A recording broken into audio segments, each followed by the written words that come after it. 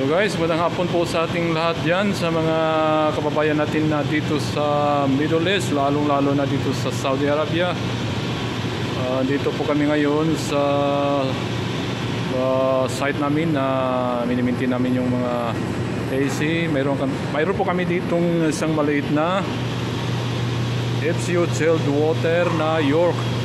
Lumang-luma to. Mga, I think, this, mga kuha na to, 30 years old. Ito po siya. Ayan, mag pressure gauge niya. Heater. Ayan. Ito yung supply niya. Supply ng tubig niya. At dito, dito naman yung outlet return. Ayan po. Ang problema po nito ay medyo may na yung lamig. Tinitingnan namin yung pressure niya sa suction at saka sa supply. Medyo mababa. Saka yung, yung return na, ah, yung supply na temperature ng tubig, okay naman, nasa 40 degrees Fahrenheit. At dito, ito yung return. Ayan. Medyo yung mababa na pressure ng tubig niya. Ayan po. Ito po, yung galing sa York, Mexico po ito.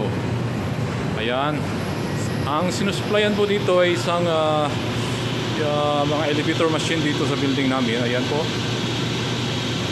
Ayan, doon sa taas. Mga elevator dyan, mga elevator dyan. Ayan. Ito po yung mga alaga namin dito. Yun, may isa kami doon. Ayan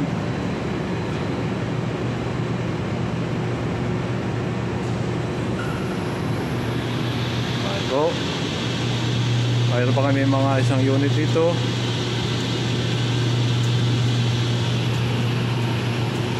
Ito po siya.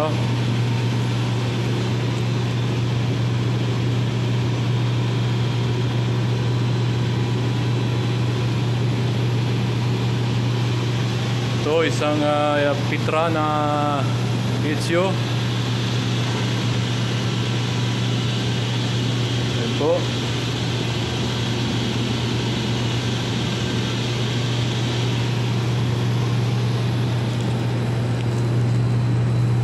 Ito po siya. Papasya ko po kayo dito.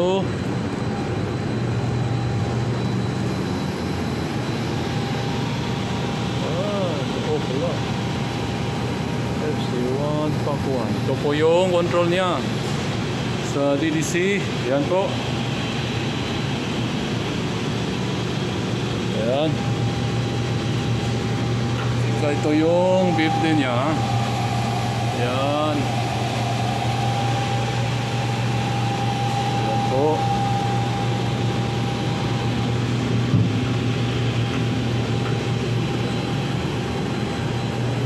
Ayan.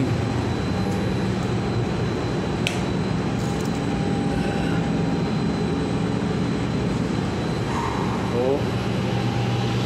Ito siya. Ito po yung ah, fresh air ah, fresh air unit po ito na supply sa mga hallway namin. Yan po. Ayan.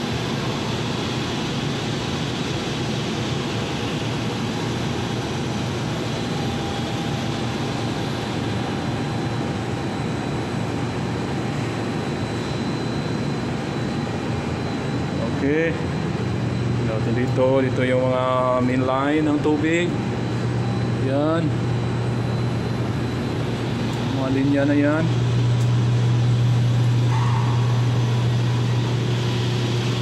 Ito po yung T10. Ito po yung ah,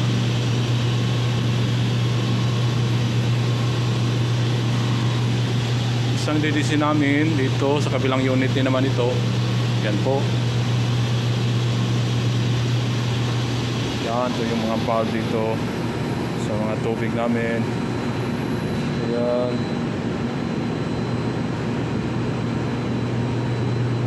Ito niya. Water supply. Water supply. 40 degrees Fahrenheit. Saka yung return niya is uh, almost 80. taas ng uh, Deltatinia. So yan, pakyat yan. Punta doon sa mga machine na elevator.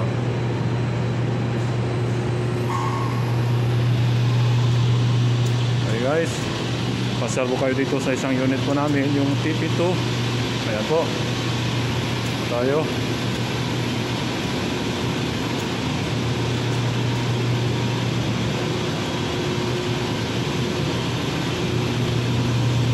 Ayan po.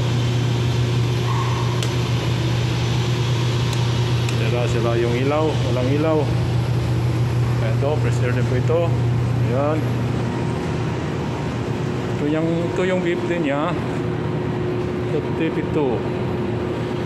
Ayan. O, naka 53.1 Hz. 15 ampere, 80 VDC, 8 VDC. Okay. Ayan po. Sige, saglit lang po ito guys. Bilisan lang. Ito po yung unit namin dito. Ayan. Ito po yung control niya sa DDC itong unit na to. DP2. Ayan. Ayan po.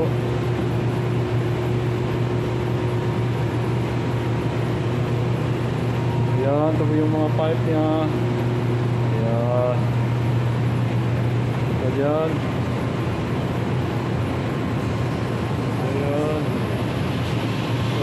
Ah!